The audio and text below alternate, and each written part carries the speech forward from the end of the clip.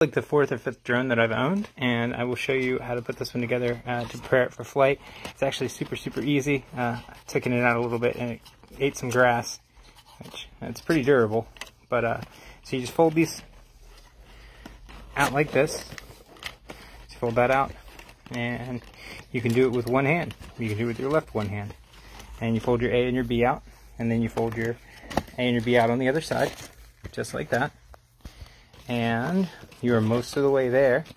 Uh, the only last thing to do is put on the blade guards, and they look like this. And they just slide right into an aperture on the end there. Just put them right in there, and then they'll slide in and pop. Let's see if we can actually show you what the aperture looks like. There it is. It's just that little square, and then this tab goes right in there. It's kind of challenging to do it through the camera, but you know, it's good practice. That's it. You're done. You do that three more times and you're ready to fly. Uh, it doesn't use an undercarriage. It just uses these little rubber feet and they work excellent. And you've got your little camera right under there and then your battery slides out from the back. Uh, it's pretty straightforward, easy to use. Uh, maybe I'll get some flight time in in a minute with somebody else to hold the camera.